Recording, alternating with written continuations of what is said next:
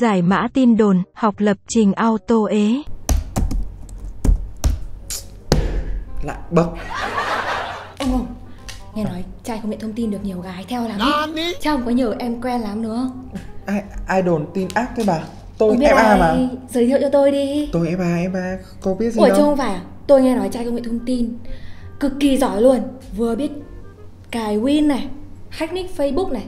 Thú vị và không những thế lại còn cực kỳ nhiều tiền luôn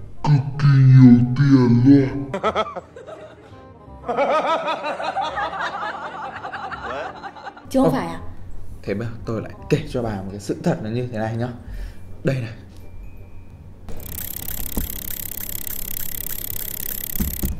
Anh ơi Em có bức thư này muốn gửi cho anh.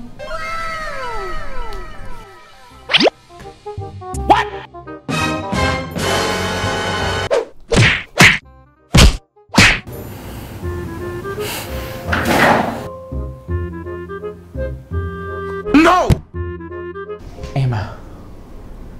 dạo này em có khỏe không? Sao lại bị xước? Tại sao lại bị tổn thương thế? Em yêu baby à? Anh phải đưa em đi spa thôi. Để tút tát lại cái vẻ ngoài nhan sắc tuyệt trần của em. Tôi năm nay hơn 70 tuổi mà tôi chưa gặp cái trường hợp nào mà nó như thế này cả. What the hell?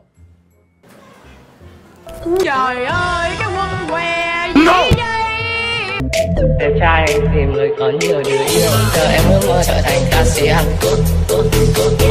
Cho đẹp trai tóc tai đẹp đẹp đẹp đẹp đẹp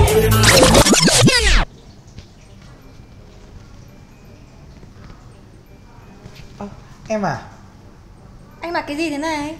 Ơ, em không thấy bộ ảnh đẹp à? Em Mấy ngày rồi anh chưa tắm đấy. Anh tắm từ hôm kia mà cái, cái lúc anh nhắn với em đấy. Còn áo này anh mặc được 3 ngày rồi. Mới có 3 ngày thôi ba ba.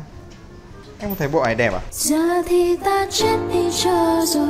Trên cao bầu trời kia như sương tối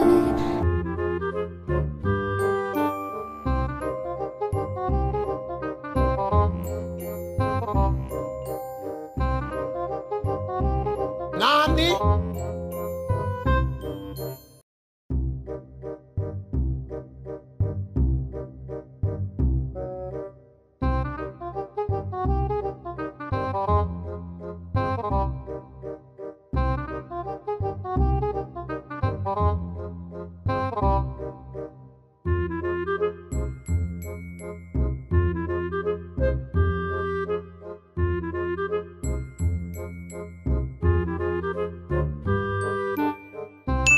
Nụ cười đã tắt. Đằng sau nước mắt Người vì anh cố níu duyên chỉ còn nhận lấy yêu phiền. Ở đây bạn thấy chưa thấy chưa? Đúng là ế bằng thực lực thật. Ơ, sao bạn À không, không có gì. không không ừ.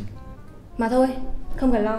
Có tôi ở đây Tôi sẽ biến ông thành dân IT được gái xếp hàng dài. Cứ tin tôi đi. Được thế bây giờ như này bà muốn giúp được tôi thì tôi sẽ giới thiệu cho bà mấy anh IT đẹp trai nhiều tiền lại còn tắm thường xuyên. Còn cái nịt Còn đúng cái nịt thôi. Các bạn hãy bấm vào like, subscribe để đón chờ những video tiếp theo từ Mai X nhé. Tôi bị không tình yêu 10 giây à bạn lâu đấy. Đây chưa? Rồi. Chưa chị chị vào vô vập đấy chị vô vập đấy